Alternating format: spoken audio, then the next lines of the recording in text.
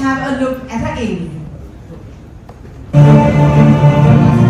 Introducing Aarya Chavda, a 15-year-old trailblazer making waves in art, literature and social change. Aarya's remarkable journey began at just 6 years old, showcasing her exceptional talent and unwavering passion for making a difference. Dedicated to fundraising for underprivileged cancer patients, she donates proceeds from her art and book sales.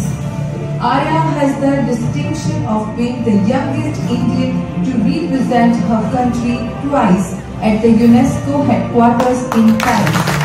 Her books, performed and published by UNESCO New Delhi, are available on prestigious like the UNESCO Digital Library and UNESCO Global Citizenship Education.